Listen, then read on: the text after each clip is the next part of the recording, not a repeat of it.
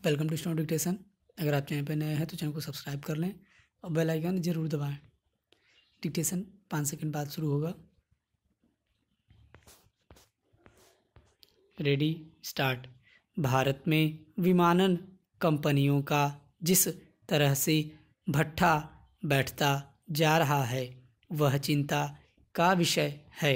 हालात बता रहे हैं कि अगर सरकार ने विमानन क्षेत्र के लिए जल्द ही सुधारात्मक कदम नहीं उठाए गए तो देश का विमानन उद्योग चौपट हो जाएगा।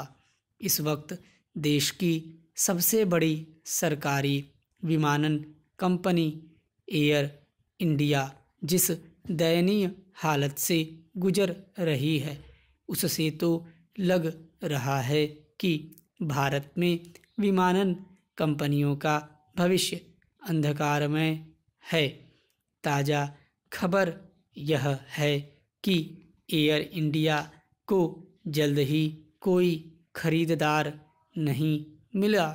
तो छह महीने के भीतर कंपनी बंद हो जाएगी।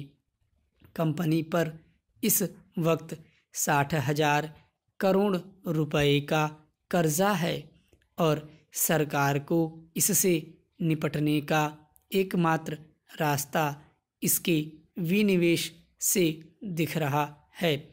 लंबे समय से कोशिशें चल रही हैं कि इसे किसी को बेचकर पिंड छुड़ा लिया जाए, लेकिन किसी ने भी अब तक इसे खरीदने में कोई दिलचस्पी नहीं दिखाई है। हालाँकि सरकार इसे ज़िंदा रखने के लिए बतौर ऑक्सीजन इसमें थोड़ा थोड़ा करके पैसा डालती रही है, लेकिन इससे सिर्फ़ यही संभव हो पा रहा है कि कंपनी किसी तरह से अपनी सेवाओं को बनाए हुए है। सिर्फ़ एयर इंडिया ही नहीं, दूसरी विमान कंपनियों ने भी पिछले कुछ सालों में जिस तरह से दम तोड़ा है, उससे यह तो साफ़ हो गया है कि इस क्षेत्र में कारोबार की प्रबल संभावनाओं के बाद भी भारत अभी तक विमानन क्षेत्र को संभालने और सुचारू रूप से चलाने के लायक नहीं बन पाया है। एयर इंडिया के विनिवेश की चर्चा लंबे समय से चल रही है। पिछले साल भी सरकार ने इस दिशा में कदम बढ़ाए थे, लेकिन मामला सिरे इसलिए नहीं चढ़ पा रहा क्योंकि एक तो सरकार चौबीस फ़ीसदी शेयर अप और अधिकार अपने पास रखना चाहती है और दूसरी बड़ी समस्या यह है कि कंपनी पर इतना ज़्यादा कर्ज है कि कोई भी इसे खरीदने की हिम्मत नहीं जुटा पा रहा। लगातार कर्ज बढ़ने से यह संकट और गहराता जा रहा है। विनिवेश की चर्चाओं के बाद कंपनी में नियुक्तियाँ, पदोन्नति जैसे काम रोक दिए गए और 15 जुलाई तक के खाते भी बंद कर दिए गए थे ताकि बोली लगाने के लिए इन्हीं खातों को आधार बनाया जा सके। कंपनी में इस वक्त दस हज़ार से ज़्यादा कर्मचारी हैं। कंपनी की माली हालत खराब होने की वजह कुप्रबंधन तो है ही। उससे भी बड़ा कारण यह है कि सरकार पर इसका लंबे समय से ग्यारह सौ करोड़ रुपए से भी ज़्यादा बकाया है। इसमें पाँच सौ करोड़ रुपए से ज़्यादा का बकाया तो सिर्फ़ प्रधानमंत्री कार्यालय और कैबिनेट सचिवालय पर ही है।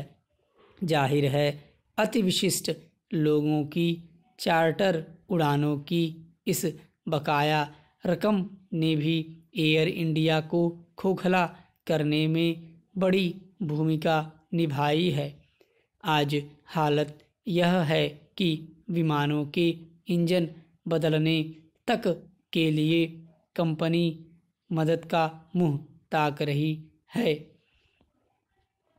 कभी देश की नंबर एक कंपनी होने का दावा करने वाली जेट एयरवेज भी ऐसे ही खत्म हुई। यह विमानन कंपनियों के लिए खतरे की घंटी थी, लेकिन तब हमने कोई सबक नहीं सीखा और कोई ऐसे नीतिगत कदम नहीं उठाए जो और कंपनियों को इस हालत में पहुँचने से रोकते।